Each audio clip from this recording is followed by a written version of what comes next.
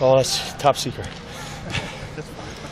Was it practice related or game related? Game related. Okay, so what, what you, when you go look back at your linebackers who had to do a lot of different things in that game, Uh huh. what did you think they did well, and what were the things maybe you'd like to see improvements? They really helped in under coverage. I think that helped with uh, not giving up those explosive passes down the field. I think our back end felt comfortable staying on top, which was a game plan of ours. Make them have to put long drives together to score. What do you feel like they could improve on when you look back? There, there's sometimes just consistency. There's just times where, you know, we didn't quite get there.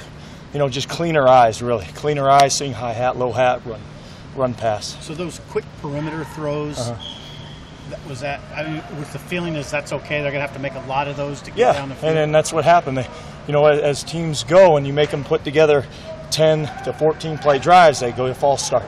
Now, you know, they, they end up doing something to help us. If we don't do things to put ourselves in a hole, make them have to go long, right? Not let them get those 50, 40 yard passes that create big plays so they can score. Was he bet that quarterback though? Was he? I mean, what kind of a challenge did he give you guys on? Saturday? He's a very good player.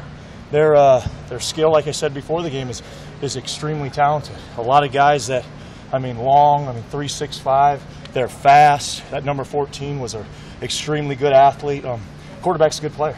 So we knew that they were going to be a struggle and that they had uh, they had the weapons on offense to to give us problems. And I thought, for the most part, we handled it well. So if, if if by what you're saying, it feels like that was probably a good test going into this. Oh yeah, absolutely. I mean, they, they we it's a great when you can get put in stress in situations and, and come out on top. We got put in. I mean, probably every situation in football the other night.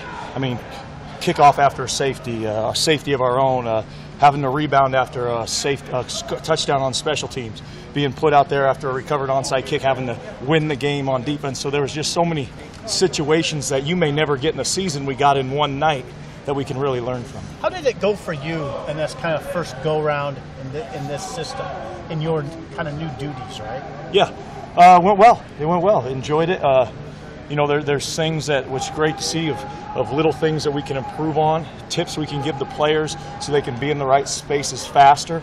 Um, and, and I think that that's going to help us carry over into this week. What is the exact nature of your duties on, on the sideline? Sideline, just, I mean, without saying too much, just communication between me and Coach Diaco, who's in the box with the linebackers, you know, and, and detailing out really the front seven. And Yep. what does this meek, uh, week mean to you going back to Oregon, uh, your, your history in that state and obviously at Oregon State?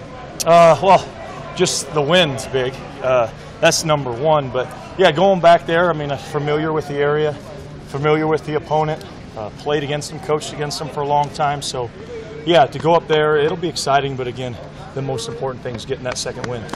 Have you been back to Oregon a lot since you've been in Nebraska? No, probably maybe maybe twice just because of recruiting.